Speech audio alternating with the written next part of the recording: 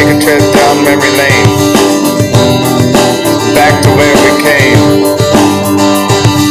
This old town hasn't changed.